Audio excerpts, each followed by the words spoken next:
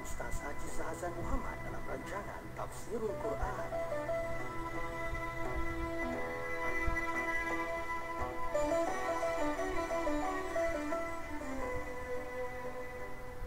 السلام عليكم ورحمة الله وبركاته. إن الحمد لله نحمده ونستعينه ونستغفره ونعوذ بالله من شرور أنفسنا ومن سيئات أعمالنا. من يهده الله فلا مضل له ومن يضلل فلا هادي له. وأشهد أن لا إله إلا الله وحده لا شريك له وأشهد أن محمدا عبده ورسوله. يا أيها الذين آمنوا اتقوا الله حق تقاته ولا تموتن إلا وأنتم مسلمون. يا أيها الناس اتقوا ربكم الذي خلقكم من نفس واحدة وخلق منها زوجها وبث منهما رجالا كثيرا ونساء واتقوا الله الذي تساءلون به والأرحام. إن الله كان عليكم رقيبا.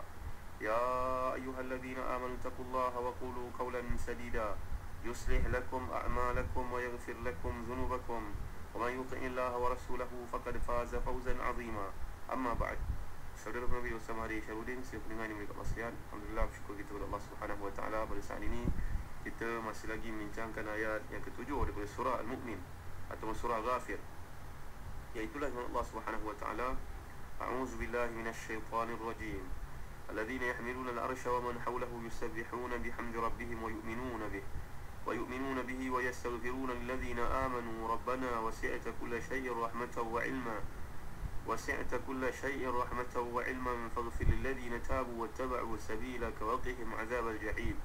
Maksudnya malaikat-malaikat yang mengikut arash dan malaikat yang berada di sekelilingnya bertasbih memuji Rabbnya. Dan mereka beriman kepadanya. Serta mintakan keampunan bagi orang-orang yang beriman seraya mengucapkan wahai Tuhan kami rahmat dan ilmu mu meliputi segala sesuatu. Maka berilah keampunan kepada orang-orang yang bertaubat dan mengikuti jalan yang kau tunjukkan dan biarlah mereka di seksaan api neraka yang menyala-nyala. Demikianlah terjemahan yang saya pilih dari sahih tafsir Ibn Kathir salah satu kita tafsir yang menarik untuk kita miliki dalam koleksi memahami ayat Allah ni. Muslim-muslimat sekalian jadi Allah beritahu kita tentang malaikat mukarabin yang empat yang tugasnya mengikut arash juga para malaikat keliling mereka ni yang memiliki kedudukan yang sangat dekat dengan Allah bahawasanya mereka semua tasbih muji Allah SWT maksudnya mereka membawa bersama-sama dengan tasbih itu tahmid pujian bagi Allah Subhanahu Wa Taala. Mereka beriman pada Allah, tunduk padanya merendahkan diri. Sifat malaikat ni memang mulia dan juga kiramin bararah disebut juga merendahkan diri. Yu'minu Nabi ini maknanya merendahkan diri. Para malaikat ni tawaduk sifatnya. Kemudian mereka ni banyak beristifar. Beristifar untuk orang-orang beriman. Para malaikat ni tidak berdosa. Kerana pencipta mereka ni tidak seperti manusia yang mana mereka memiliki akal tapi tidak memiliki nafsu macam manusia dan mereka ni kejadian mereka tidaklah pasang-pasang seperti kejadian manusia dan juga jin yang mana mereka diciptakan daripada kalangan lelaki dan perempuan jadi Allah menjadikan para malaikat mukarabi ini untuk memanjatkan doa bagi orang beriman tanpa pengetahuan orang-orang beriman itu. Jadi bila mana tabiat para malaikat alaihi wassalam ini suka mendoakan orang beriman tanpa pengetahuan mereka maka mereka pun suka mengaminkan doa seorang mukmin untuk saudaranya sesama mukmin tanpa pengetahuan saudara yang didoakan itu. Sebagaimana yang disebut dalam hadis yang sahih riwayat Muslim dari Abu Darda jika ada al-muslim ya akhihi bi dhahri ghaib qala al-malaku amin walaka bimithli. Jika seorang beriman doa untuk saudaranya tanpa pengetahuan saudaranya itu para malaikat akan mengatakan semoga Allah mengabulkan doamu dan bagimu seperti itu juga. Kita janganlah memikirkan bahawa Allah ni macam kita. Ada wang sebanyak RM10 bagi pada dua dapat seorang RM5 tapi kalau angka tu dah ubah menjadi tiga orang dah kurang pula hak masing-masing. Menjadikan hanya pemilikan tu RM3.30 seorang nanti datang lagi yang keempat dah RM2.5 pula. Hak pemilikan kita ni tak sempurna muslim-muslimat sekalian. Tapi pemilikan di sisi Allah itu sangat sempurna. Kalau kita mohon untuk saudara kita satu kebaikan sebenarnya malaikat mengaminkan dan kita pun dapat apa yang kita mohonkan untuknya. Jadi kita ni kena banyak mendoakan untuk orang lain. Doakan untuk saudara se-Islam kita. Doakan untuk mereka dapat keberkatan itu sebab dalam Islam ni sangat dituntut untuk mendoakan bagi ibu bapa seperti yang kita belajar di surah Luqman yang lalu. Allah mengingatkan kita mengajar kita doa bersih doa ni untuk ibu bapa kita. Itu juga kepada isteri-isteri kita kepada suami-suami kita untuk anak-anak kita. Antara doa-doa yang kita amalkan ini muslim-muslimat sekalian jangan lupa doa untuk saudara Islam kita di Palestin saudara Islam kita di Afghanistan. Saudara Islam kita di Iraq saudara Islam kita di Kashmir.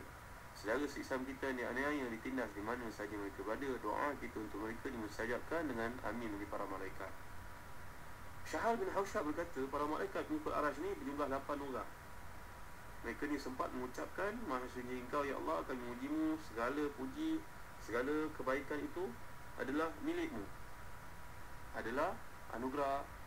Kau boleh anugerahkan kepada siapa yang kau kendaki ya Allah Berikut arash ni Muslim-muslim sekalian Seperti disebutkan dalam ayat Allah subhanahu wa ta'ala Wa yahmilu arash rabbika fawqahum yawma idin samaniyah Ini dalam ayat yang kita sedang bincangkan Alladhini yahmilu arash wa man hawa Yusabihuna bihamdurahi bihim wa yu'minuna bihim واستغفرون الذين آمنوا ربنا وسعت كل شيء رحمة وعلما ini satu ayat dalam ayat yang lain ayat ke-17 surah Al-Haqqah Allah menggambarkan bahawa pengikut Al-Arash Allah SWT ni adalah 8 orang jadi muslim-muslim ini boleh Allah sekalian ini para ahli tafsir beza pendapat mengenai jumlah malaikat pengikut Arash di dunia juga di akhirat jadi adakah yang dimaksudkan oleh ayat ke-17 ayat ke-17 surah Al-Haqqah ni merujuk pada bilangan malaikat Allahu alam. Pendapat pertama mengatakan bahawa pengikut arash Allah ni berjumlah empat orang. Empat malaikat. Tapi bila hari akhirat besok ditambah lagi empat sehingga menjadikan lapan. Lapan bilangannya. Seperti dalam ayat ke-17 ni. Wa ya'milu arash rabbika fawqahum yawma idhin samaniya. Wal mulku ala arja'iha wa ya'milu arash rabbika fawqahum yawma idhin samaniya. Jadi Ibn Kathir dalam tafsirnya cenderung untuk memilih pendapat ini yang mana beliau mengatakan bahawa dalam syair yang disampaikan oleh seorang sahabat namanya Umayyah bin Abi Salt Umayyah bin Abi Salt ini dia berkata dalam syairnya Rajulun wa thawrun tahta rijli yamini al-ukhra wa laytha marsadi Muslim-muslim ini boleh kalau sekalian dalam gambaran dikemukakan oleh Umayyah bin Abi Salt ini dalam syairnya lelaki dan sapi jantan lelaki dan juga seorang yang dikata lembu. Lembu jantan berada di bawah kanannya burung nasr berada di kirinya dan singa mengawasinya. Bila mendengar gubahan syair yang disampaikan oleh Umayyah bin Abi Salt yang menjelaskan tentang gambaran ciptaan alam ini nanti berkata ia benar jadi muslim-muslimat ini kat Allah sekalian ini pendapat pertama adalah melengkapkan kata-kata yang disebut oleh Umayyah bin Abi Salt Walau bagaimanapun pendapat yang kedua mengatakan bahawa sebenarnya pembawa arash ini di dunia ataupun di akhirat jumlahnya 8 malaikat. Kerana dalam ayat yang jelas disebut oleh Allah SWT dalam surah Al-Haqqah ini. Ini juga merupakan pendapat disebut oleh Bijari Tabari dan tetapi beliau tidak menyebut sanadnya kepada siapa sekalipun. Ada pendapat ketiga yang mengatakan bahawa malaikat pencipta pembawa arash ini pada hari kiamat adalah barisan. Lapan maksudkan itu lapan barisan malaikat. Tidak ada yang mengetahui jumlahnya melainkan Allah Subhanahu Wa Taala. Muslim-muslim ini mereka sekalian. Ada lagi pendapat yang keempat yang mengatakan bahawa yang maksudkan dengan lapan ini lapan bahagian. Kerana para malaikat terdiri daripada sembilan bahagian. Sedangkan bahagian lapan di antara mereka ni adalah Al-Karubiyun. Al-Karubiyun ni katanya adalah para malaikat yang duduk keliling arash Allah Subhanahu Wa Taala dalam ayat ini. Jadi muslim-muslimat ini boleh kalau sekalian ni cerita panjang tentang malaikat. Disebut kalau muslim-muslimat minat untuk baca lebih lanjut bacalah buku tajuk menyelisih alam malaikat yang diterbitkan oleh pusaka Imam Syafi'i ini banyak perbincangannya yang disebut daripada Al-Quran dan juga hadis. Sebenarnya malaikat-malaikat ni muslim-muslimat yang kalau sekalian mereka memiliki hati yang kuat fizikal yang besar dan kekuatan yang sangat luar biasa. Di mana para malaikat dapat melembutkan besi dan malahan menghancurkan besi dan juga batu. Tanpa kita lihat dalam surah Zariyat Allah menggambarkan qala fama khatbukum ayyuhal mursalun qala atas mereka gunung yang besar maka jawapan Nabi SAW aku berharap agar Allah mengeluarkan dari turunan mereka ni orang-orang beribadah kepada Allah secara ikhlas dan telus dan tidak menyekutukannya dengan satu pun Ya Allah hebatnya ujian Nabi Muhammad SAW Tapi Nabi Muhammad sabar Jadi menunjukkan di sini poinnya adalah keagungan malaikat pengurus gunung. Fizikalnya yang besar membolehkannya mampu bertindak menimpakan dua buah gunung besar kepada penduduk Mekah. Kalau Nabi merintahkan mereka untuk melakukan hal itu. Lagi muslim-muslimat ini boleh Allah sekalian. Lagi gambaran tentang malaikat pengurus arash ini yang membawa arash ini dalam hadis yang lain riwayat Abu Dawud bahawa Nabi telah bersabda Uzina li an uhaddis an malakin min malaikatillahi min hamalatil arsh Inama baina syahmati udhnihi udhunihi ila atiqihi masiratu sab'imi'ati amin Aku dibenarkan untuk menceritakan tentang gambaran malaikat mengikut arash. Semuanya jarak di antara ujung telinganya dengan lehernya itu dengan tengkuknya. La ilaha illallah Muhammad Rasulullah. Perjalanan 700 tahun. Bayangkanlah malaikat tubuhnya sebesar itu.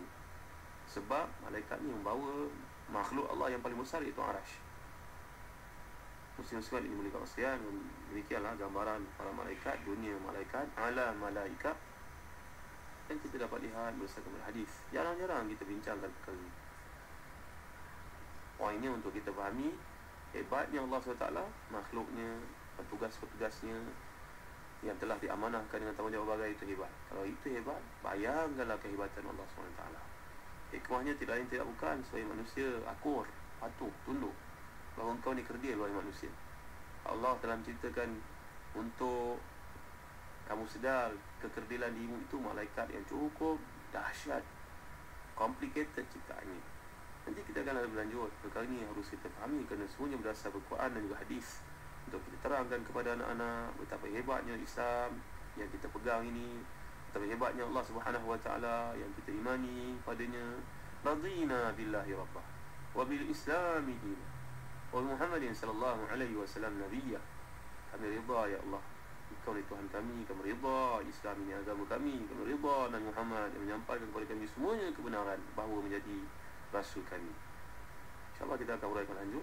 Ini penting dalam bab akidah.